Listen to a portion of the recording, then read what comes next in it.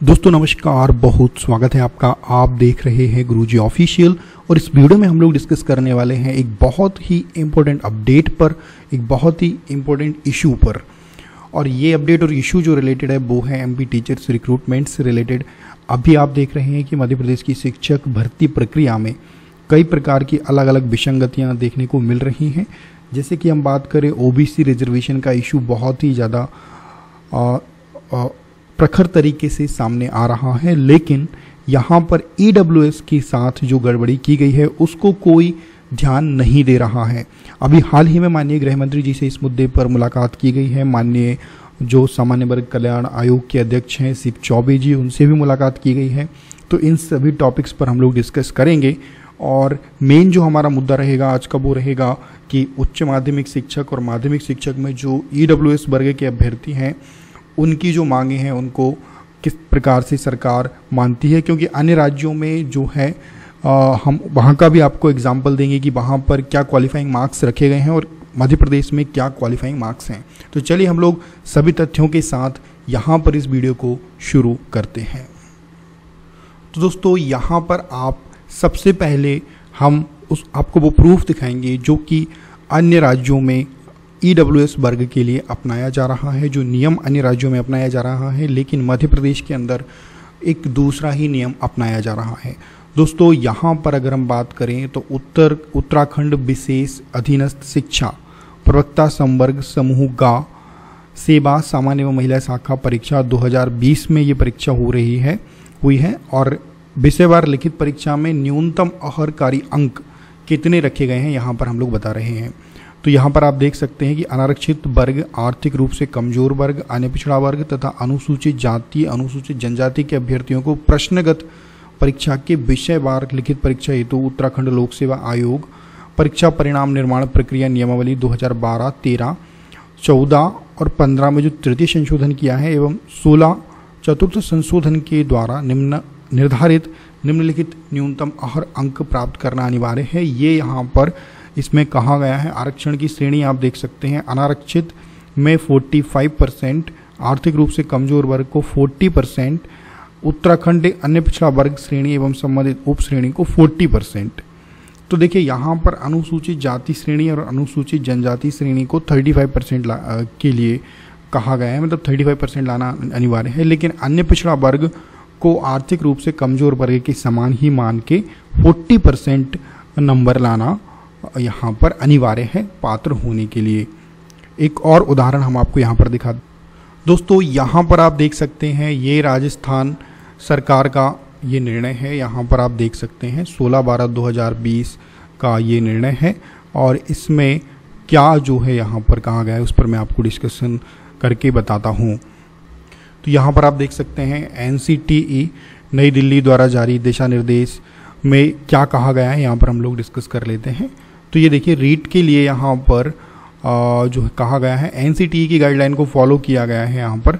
तो एनसीटी की गाइडलाइन मानने के बाद भी यहाँ पर जो है, आर्थिक रूप से कमज़ोर वर्ग के लिए 55 परसेंट यहाँ पर रखा गया है।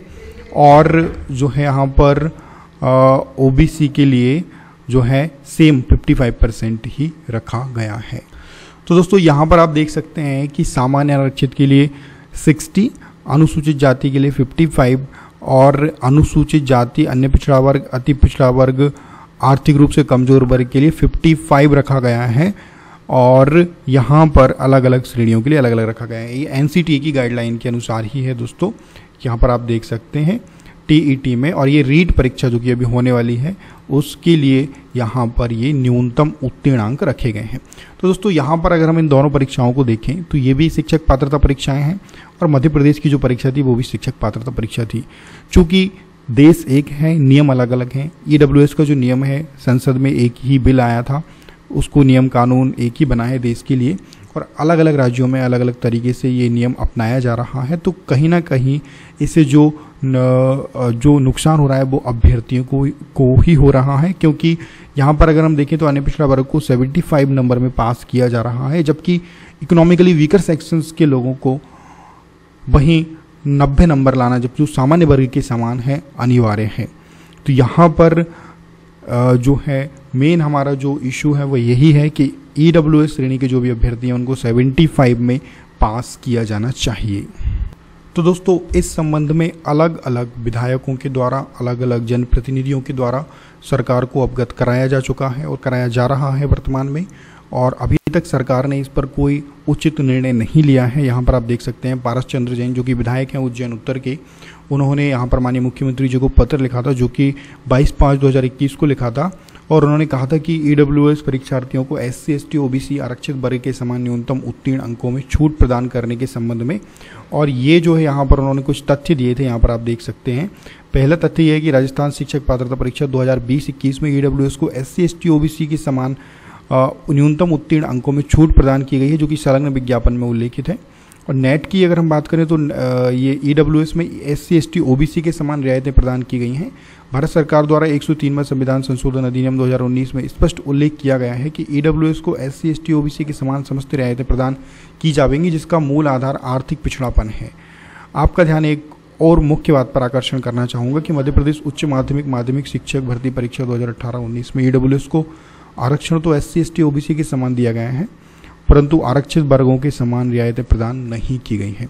तो ये बेसिकली दोस्तों यहाँ पर एक बहुत बड़ा इशू है, जिसको पारस चंद्र जैन जी ने उठाया था और अभी तक गवर्नमेंट ने, माननीय मुख्यमंत्री जी ने इस पर कोई निर्णय नहीं लिया है। दोस्तों, एक और पत्र हम लोग आपको बता रहे हैं, जो कि डॉक्टर मोहन यादव उच्च शिक्षा विभाग, मध्य प्रदेश शासन ने लिखा था और ये दो छः दो हज़ार इक्कीस को लिखा था। और यहाँ पर उन्होंने कहा था कि मध्य प्रदेश उच्च माध्यमिक शिक्षक माध्यमिक शिक्षक भर्ती 2018-19 में ई e परीक्षार्थियों को S C S T OBC आरक्षित वर्ग के समान न्यूनतम उत्तीर्ण अंकों में छूट प्रदान करने के संबंध में उन्होंने कहा था। और उन्होंने कहा था वही जो फैक्ट्स जो हमने यहाँ पर डिस्कस किए राजस्थान में जो जिस प्रकार से दिया गया है नेट में जिस प्रकार से दिया गया है और 103 में जो संविधान संशोधन अधिनियम 2019 है उसमें स्पष्ट उल्लेख किया गया है कि ई e को एस सी एस टी के समान रियायतें प्रदान की जाएँगी जिसका मूल आधार आर्थिक पिछड़ापन है। तो यहाँ पर सभी की सभी जो भी आ, मांगे हैं वो यहाँ पर रखी गई थी। कहने का अर्थ ये है कि पिछड़ा वर्ग जो माना जाता है आर्थिक पिछड़ापन जो संविधान संशोधन अधिनियम में कहा गया है, उसमें ई e को वो सभी सुविधाएँ दी जानी चाहिए और ये राज्य पर निर्भर करता है, राज्य को ये निर्णय लेना चाहिए। दोस्तों, इसमें एक और पत्र ई e आरक्षण संघ मध्य प्रदेश की तरफ़ से दिया गया और हम यहाँ पर डिस्कस इसमें एक अन्य पत्र, सुखदेव सिंह शेखावत गोगा मेड़ी राष्ट्रीय उपाध्यक्ष हैं, राष्ट्रीय राजपूत करणी सेना के, उनके द्वारा भी माननीय मुख्यमंत्री जी को लिखा गया है। मध्य प्रदेश की पूर्व मुख्यमंत्री कमलनाथ जी के द्वारा भी ये पत्र लिखा गया है। हालाँकि उनके समय में ये नियम जारी हुए थे, उनको ध्यान रखना चाहिए था कि ई e के लिए क्या नियम बनाने चाहिए। और इस संबंध में माननीय गृह मंत्री नरोत्तम मिश्रा जी से भी ये अभ्यर्थी मुलाकात करते हुए यहाँ पर आप देख सकते हैं, उन्होंने आश्वासन दिया है कि इसको जल्द से जल्द लागू किया जाएगा, इसमें जो भी विसंगतियाँ हैं उनको दूर किया जाएगा। और यहाँ पर आप देख सकते हैं, सिप चौबे जी, जो कि सामान्य वर्ग कल्याण आयोग के अध्यक्ष हैं, उनसे भी मुलाकात की गई है। और उनको भी ज्ञापन दिया गया है। उन्होंने भी हमारी मांगों को विस्तार से सुना है और उन, पर प्रतिक्रिया देने का उन्होंने आश्वासन दिया है। यहाँ पर माननीय विश्वास सारंग जी से भी मुलाकात की गई है। उन्होंने भी मांगों को जो है समझा है और जल्द से जल्द इस पर निर्णय लेने का कहा है। माननीय बी डी शर्मा जी से भी मुलाकात की गई है। पूर्व जो है वर्तमान में भाजपा के और प्रदेश अध्यक्ष हैं, उनसे मुलाकात की गई है, यहाँ पर आप देख सकते हैं, उनसे भी मांगे रखी गई हैं। तो दोस्तों, कहने का अर्थ यही है, अंत में मैं यही कहूँगा कि जब अलग अलग शिक्षक पात्रता परीक्षाओं में नियम एक समान है कि आपको ई e को ओबीसी या एस सी के समान ही आरक्षण का लाभ आपको देना है तो यहाँ पर आप किस प्रकार से, इस प्रकार के आरक्षण का, को सामान्य वर्ग के समान मान सकते हैं, जबकि ई e एक आरक्षित वर्ग है और इस वर्ग के लोगों को यहाँ पर आरक्षण की जो वास्तविक सुविधा है वो नहीं मिल पा रही है।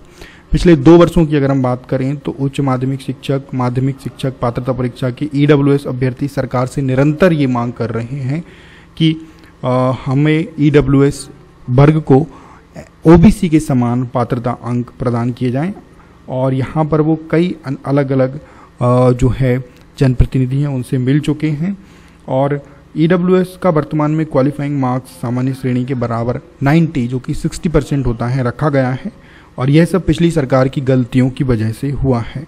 अगर हम बात करें इसी क्रम में ई e अभ्यासी संघ वर्तमान नवनियुक्त सामान्य वर्ग कल्याण आयोग के अध्यक्ष शिव चौबे जी से भी मिला है। उन्होंने भी इस बारे में जो है डिटेल डिस्कशन किया है। इसके अलावा राष्ट्रीय राजपूत करणी सेना के राष्ट्रीय अध्यक्ष माननीय सुखदेव सिंह गोगामेड़ी जी ने भी सामान्य वर्ग के गरीब ईडब्ल्यूएस श्रेणी के समर्थन में उच्च माध्यमिक शिक्षक, पात्रता परीक्षा में क्वालिफाइंग मार्क्स ओबीसी के बराबर 75 नंबर यानी कि 50 प्रतिशत करने पर पत्र जारी किया है और मुख्यमंत्री जी से निवेदन किया है। तो दोस्तों, यहाँ पर सभी ईडब्ल्यूएस संघ के जो भी अभ्यर्थी हैं और जो भी ईडब्ल्यूएस वर्ग से आते हैं, उनसे मेरा अनुरोध रहेगा और उन सब का हम सरकार से अनुरोध करते हैं कि ईडब्ल्यूएस की जो क्वालिफाइंग मार्क्स हैं उनमें ट्रांसपेरेंसी आए। ट्रांसपेरेंसी का अर्थ है कि अन्य राज्यों में जो मार्क्स क्वालिफाइंग मार्क्स रखे गए हैं मिनिमम वही क्वालिफाइंग मार्क्स एम में भी होना चाहिए और जिससे कि ये जो विसंगति है, इसको दूर किया जा सके, हज़ारों हज़ार अभ्यर्थियों के भविष्य को बर्बाद होने से बचाया जा सके। आरक्षण की भेंट चल रहे युवा जो कि अभ्यर्थी हैं, उनको निराशा हाथ ना लगे। तो यहाँ पर मेरा अनुरोध रहेगा, आपसे इस वीडियो को लाइक करें और ज़्यादा से ज़्यादा शेयर करें जिससे कि सरकार तक ये वीडियो अवश्य पहुँचे। इस वीडियो को देखने के लिए आपका बहुत बहुत धन्यवाद। Thank you thank you very much